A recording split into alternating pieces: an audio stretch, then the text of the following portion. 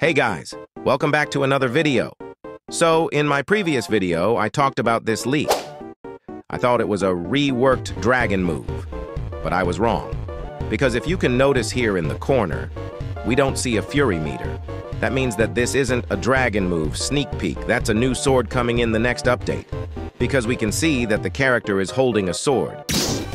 We also got a sneak peek of this sword in another leak. Look at this one.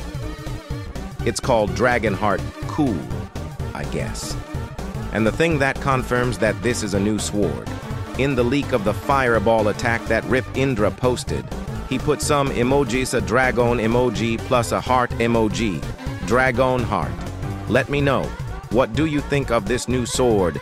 And will it be better than the current swords? Also in this fireball skill leak, we can see a VIP button.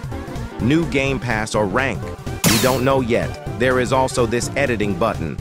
Let me know what do you think of this one.